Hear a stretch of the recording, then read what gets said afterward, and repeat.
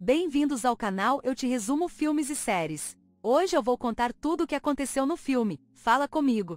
Mas antes, se inscreva no canal e ative o sininho das notificações para não perder o próximo vídeo. O filme começa com Angela, uma mulher de 40 anos acordando no meio da noite para atender um telefone, mas nesse mesmo momento ela começa a chorar, enquanto pergunta se a pessoa do outro lado da linha é seu marido que foi embora recentemente de casa. No entanto, como a pessoa que ligou permanece em silêncio, Angela encerra a ligação e volta a dormir, mas não demora muito para que o telefone volte a tocar. E desesperada ela começa a implorar para que o marido volte para casa. E é nesse momento que descobrimos que a pessoa do outro lado da linha é Diogo, um jovem de 18 anos que costuma ligar para as pacientes da sua mãe que é psicóloga, pois ele gosta de fazer aquilo enquanto elas atendem as ligações. Quando ele termina o que está fazendo, ele se limpa em um papel com o nome da Ângela, e em seguida guarda a folha em uma pasta. Algum tempo depois, vemos Diogo indo ao consultório da mãe, onde ele rouba outro número de telefone, mas ao ligar para a paciente, a mulher o trata com grosseria e rapidamente desliga na cara dele. Diogo então resolve ligar novamente para Ângela, e enquanto ela continua acreditando que está falando com o marido, o jovem mais uma vez começa a fazer aquilo. Na noite seguinte, vemos Diogo jantando com a família, e logo percebemos que ele não faz nenhum esforço para interagir com eles. Em seguida, a irmã de Diogo avisa para a mãe que está sentindo uma dor na barriga, e ao comentar que pode ser apendicite, Clarice não leva a sério a filha, e simplesmente começa a falar com o marido sobre os problemas do seu trabalho. No dia seguinte, Diogo vai até o consultório da mãe para pedir dinheiro para pagar o seu vestibular, e Clarice rapidamente avisa que em breve fará um cheque. Durante a noite, Mariana entra no quarto do irmão, e mais uma vez reclama que continua sentindo dor na barriga, e prontamente Diogo verifica se ela está com febre, mas logo descarta a possibilidade de ser apendicite. Mariana então pede para ver a cicatriz da cirurgia dele, e enquanto Diogo mostra, ele comenta sobre os sintomas que teve quando estava doente.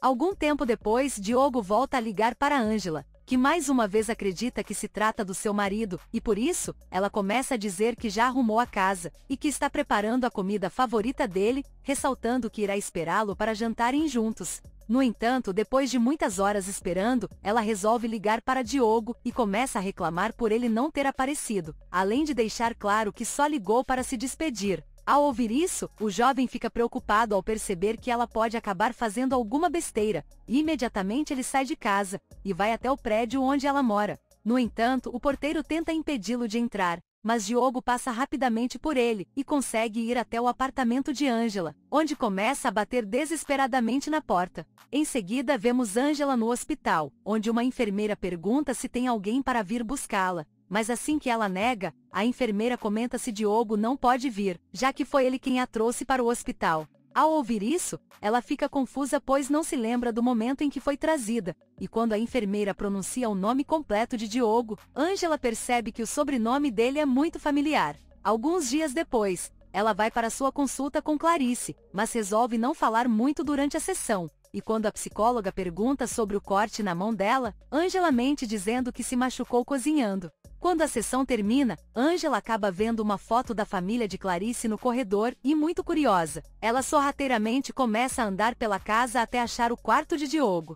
Ela então começa a mexer nas coisas dele, até encontrar a pasta em que o jovem guarda os nomes das mulheres para quem ele liga. Quando Diogo retorna para casa, ele percebe que alguém mexeu em suas coisas, e imediatamente ele fica muito preocupado. Enquanto isso, Angela está em casa se livrando de algumas coisas do marido, e em seguida, ela liga para Diogo, avisando que irá contar tudo para a mãe dele. No dia seguinte, Guilherme percebe que Diogo está muito distraído, e ao perguntar se ele anda saindo com alguma garota, o jovem comenta que a sua situação é complicada, ressaltando que a sua suposta ficante é um pouco maluca. Depois da escola, Diogo encontra no seu quarto um bilhete de Angela lhe convidando para jantar, e mesmo estando com receio, ele aparece na casa dela com uma garrafa de vinho. Em seguida vemos os dois jantando, e depois de um silêncio constrangedor, Angela pergunta se o jovem pretende fazer alguma faculdade. Ele então responde que quer fazer música, e ao ouvir isso ela fica muito surpresa, ressaltando que já foi professora de piano,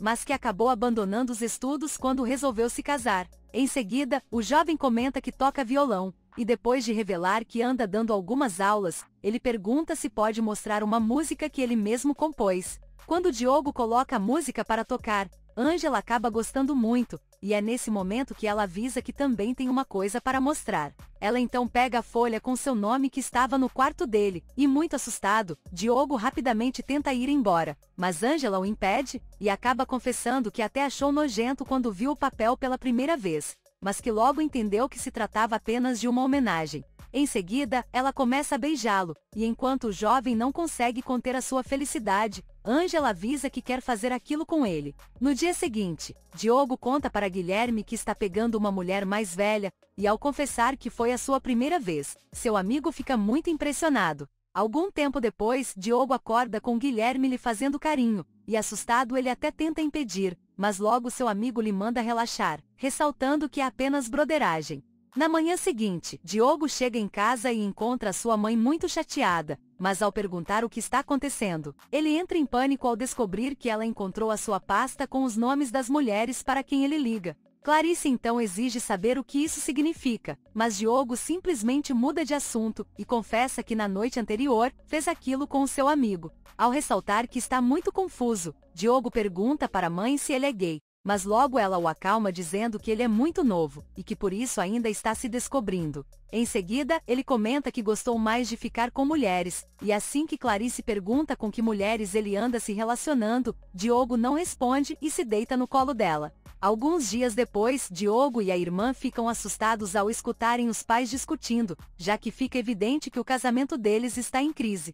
Diogo então abraça a irmã para consolá-la, e em seguida ele vai para a casa de Ângela, onde desabafa sobre o relacionamento dos seus pais. No dia seguinte, Guilherme convida Diogo para dormir em sua casa, mas imediatamente ele nega, e ao tentar conversar sobre o que aconteceu entre eles, Guilherme o interrompe dizendo que não foi nada demais. Nos dias seguintes, Diogo e Ângela começam a passar cada vez mais tempo juntos, e enquanto se apaixonam um pelo outro, o jovem até resolve convidar o seu amigo e a namorada para conhecerem Ângela. No entanto, Guilherme não consegue disfarçar o incômodo por Ângela ser bem mais velha do que eles, e assim que ele começa a fazer alguns comentários maldosos sobre a idade dela, Paula rapidamente o leva embora. No dia seguinte, Diogo ainda está na casa de Ângela, quando recebe uma ligação da irmã, reclamando que não tem ninguém em sua casa. Ele então convida a irmã para conhecer a sua namorada, e as duas acabam se dando muito bem, mas assim que Mariana recebe uma ligação da mãe, ela imediatamente volta para casa.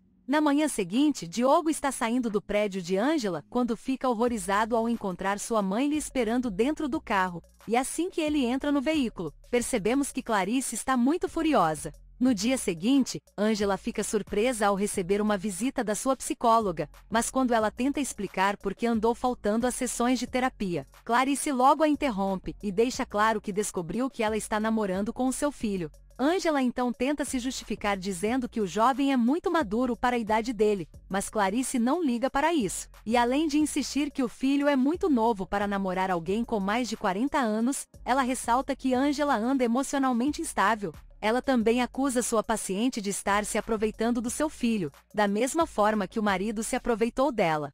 Em seguida, Clarice ordena que ela se afaste de Diogo, e assim que a psicóloga vai embora, percebemos que Ângela está muito arrasada. Algum tempo depois, Diogo tenta ligar para Ângela, mas como todas as ligações vão para a caixa postal, ele resolve ir para a casa dela. E é nesse momento que o porteiro avisa que ela proibiu a entrada do jovem, em seguida, Diogo pergunta para a mãe por que Ângela está levitando, e é então que Clarice repreende o filho por estar se envolvendo com uma mulher mais velha, deixando claro que por ela estar instável, ele pode acabar se machucando. Ao ouvir isso, Diogo não concorda, e depois de ressaltar que não precisa da mãe para protegê-lo, ele vai embora furioso. Algum tempo depois, Diogo liga para uma mulher que é especialista em fazer aquilo por telefone, mas ele não consegue se concentrar e acaba encerrando a ligação. Em seguida, ele resolve ir novamente para a casa de Angela, onde os dois se beijam emocionados e começam a fazer aquilo. Quando eles terminam, Angela convida Diogo para morar com ela,